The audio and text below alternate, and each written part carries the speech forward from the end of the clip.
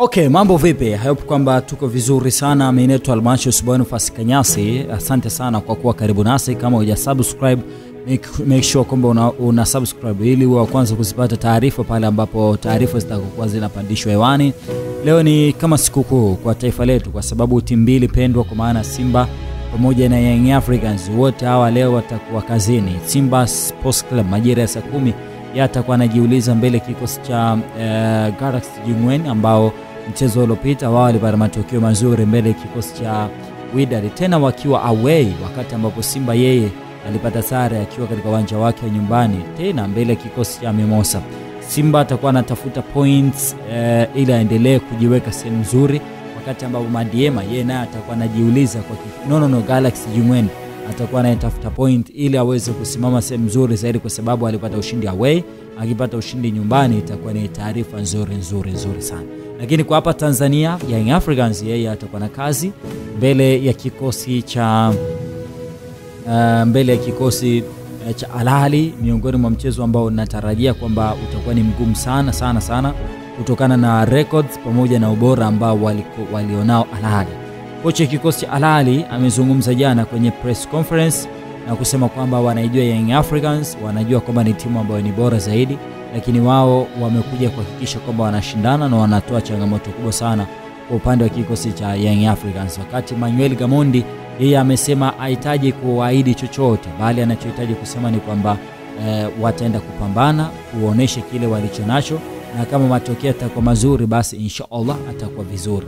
Usisahau katika record Young Africans amewahi kushinda mara moja tu akikutana Al Ahly, na hii ilikuwa ni mwaka 2014 pale ambapo Young Africans alidumbukia kwenye mikono ya Al Ahly na Young Africans wakashinda bao moja kwa bila, lakini mara yao ya kwanza ya kukutana ilikuwa ni mwaka 2009 ambapo kikosi Al Ahly walimfunga Young Africans bao tatu kwa bila away. Nyumbani Young Africans wakafunga bao moja kwa bila na wakaondolewa. 2014 wakakutana tena kwenye hatua ya kwanza kwenye michuano ya klabu bingwa barani Afrika. Mchezo nyumbani Young Africans wakashinda bao moja kwa bila, away Alali wakashinda bao moja kwa bila, nao vile vile wakaenda kwenye penalty shootout na Young Africans wakatolewa kwenye mchezo eh, kwa penalty shootout, lakini vile vile wakakutana tena mwaka 2016 katika uwanja wa nyumbani. Young Africans walipata sare ya bao moja kwa moja dhidi ya Alali, na mwaka 2016 kwenye game ya marejeano Young Africans wakafungwa bao mbili e, kwa moja. Manake kwenye safari tatu ambazo Al Ahly amekuja hapa Bongo ameshinda game moja, amesare game moja na amepoteza game moja. Kwenye safari tatu ambazo Young Africans amekutana Al Ahly katika uwanja wa nyumbani ameshinda tu mchezo mmoja 2014. Miongoni mwa kikosi ambacho kilikuwa bora sana ile ni Yanga ya kampa kampa tena Thabani Kamusoko akina Samuel Epigodi Msuva, Miss Joseline Tambo, ilikuwa ni Yanga akina Mbuyu Twitter ambao walikuwa na performance nzuri nzuri sana. Young Africans ambayo kipindi hiko kama utakuwa unakumbuka, aliyekuwa ni mdhamini ama mfadhili mkuu wa kikosi Young Africans hakuwa mwingine bali alikuwa ni eh, alikuwa ni alikuwa ni bwana eh, Yusuf Manji. Yeye ndiye ambaye alikuwa ameishika mkono Young Africans na wakaonyesha performance iliyo nzuri.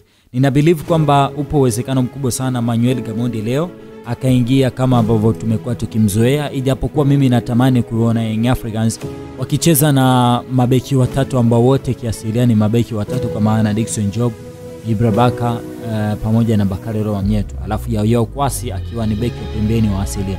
Kwa nini? Ni kwa maana Young Africans wapate balance kwenye wakati ya kushambuliana na wakati ya kukaba. Ukitazama kwenye mchezo uliopita ambao Young Africans walifungwa mabao matatu, mabao mawili yote alikuwa kwenye mfumo wa counter na wachezaji wawili wa kikosi Young Africans ndio ambao walikuwa wanaonekana wamebaki chini ya mstari wa katikati wakati wa kwenda kushambulia. So Young Africans wanahitaji kuingiza hao watu watatu, na ndio ambao mfumo ambao mimi nadhani hata msimu uliopita Manuel I mean Profesa Nabi ulikuwa unampa kiburi, hususan ikikutana na timu ngumu, lakini vile vile ndio mfumo ambao hata kwenye timu yetu ya taifa umekuwa ukitumika zaidi na timu yetu ikawa na balance nzuri. So natamani kumwona Emmanuel Gamondi akikopi hilo swala. Eneo la katikati la Young Africans ninaamini kabisa kwamba alitokuwa na mabadiliko makubwa sana. Nategemea kumwona Aucho e, Mudathiri juu yao, naamini kumwona e, Pokame Zuzwa ambaye anaenda kucheza kama nambari kumi.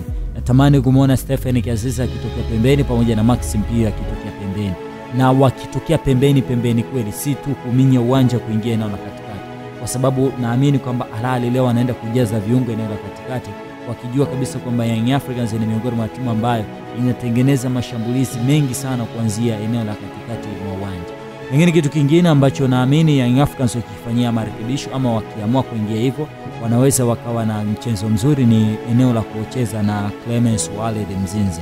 Huyu ni miongoni mwa wachezaji ambao wana, wanaweza kukupa vitu viwili in the same time, ni versatile.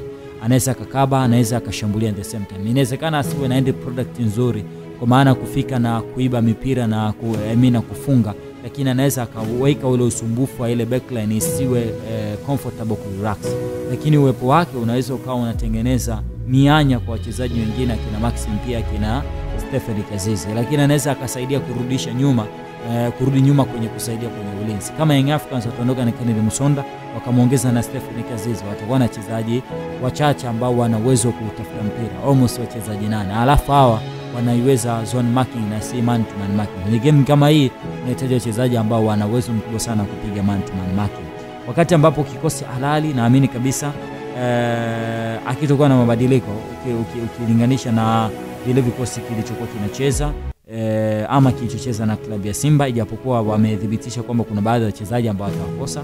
Miongoni mwa wachezaji ambao watawakosa ni pamoja na Emma Ashur ambaye no, no, no, no, watamkosa mtu kama eh, Modesti so nategemea kuona Mohamed Elishanawi akianza golini, jezi nambari moja, Akram Twafik, Rami Rabia, Mohamed Abdurrahman pamoja na Ali Mahurul.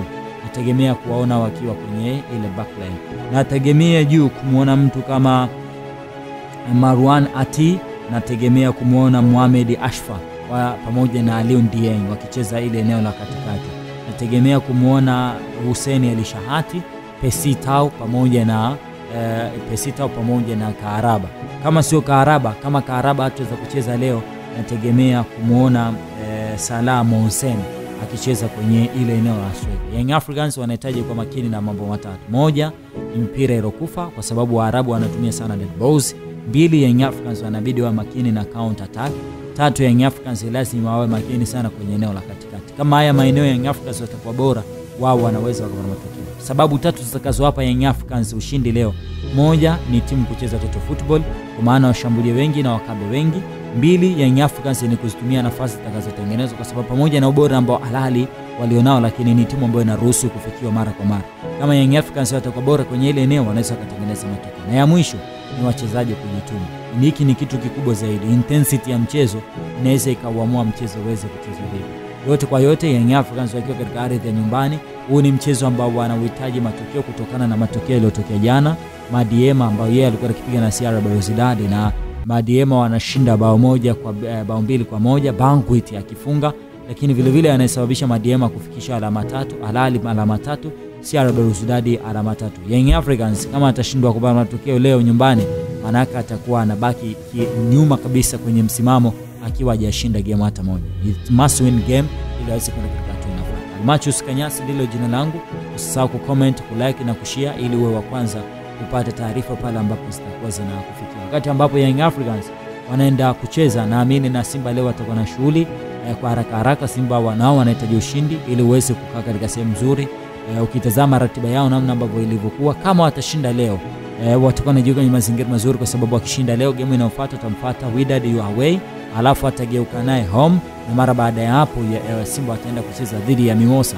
Hizo ndio game ambazo Simba watakuwa nazo. zona wao katika mchezo wa leo ambao watakuwa katika uwanja wa away, katika uwanja ambao eh, Galaxy watakuwa nyumbani, wanahitaji na wao kupata ushindi. Ushindi leo utakuwa una, unafufua matumaini kwamba wanajiwekea utaratibu mzuri kusema kwamba Galaxy wanaweza wakampasua nje nyumba nje, nje away eh, nyumbani au nyumba, nyumbani au ugenini. Kama watashinda leo, manake wanajihakikishia kufikisha alama nne kama Galaxy atamfuata huko ana uhakika kumfunga, manake atakuwa amefikisha jumla alama saba.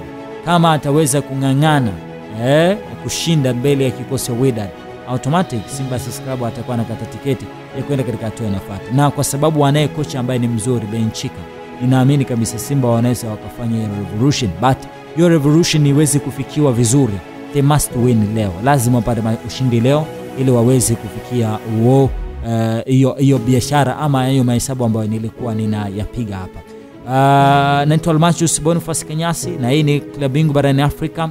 Nina believe mimi nawe tena tutaendelea kukutana tena na tena katika vipindi vingine vinavyofuata. Usisahau kusubscribe, kucomment, kulike na kushare, lakini binafsi unaweza ukanipata katika mitandao yangu ya kijamii Instagram, Facebook na Twitter kwa jina moja tu la Almachus bonifas Kanyasi. Asante, bye.